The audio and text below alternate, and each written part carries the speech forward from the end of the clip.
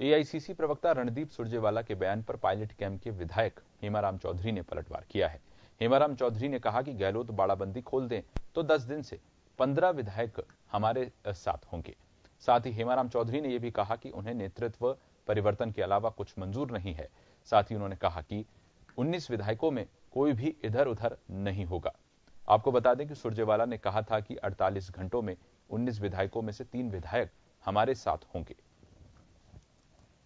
विधायक आज भी हमसे संपर्क कर रहे हैं और हमें कह रहे हैं कि जो ही बड़ा बंदी हटी हम यहाँ से भाग निकलेंगे सचिन पहले जिंदाबाद। आ जाएँगे।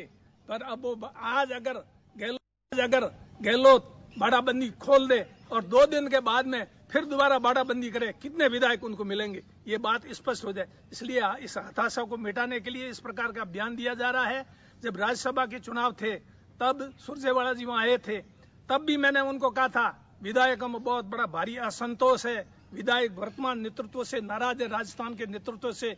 इसलिए जब नेतृत्व परिवर्तन होगा तो ही जाके ये विधानसभा में शांति होगी। नहीं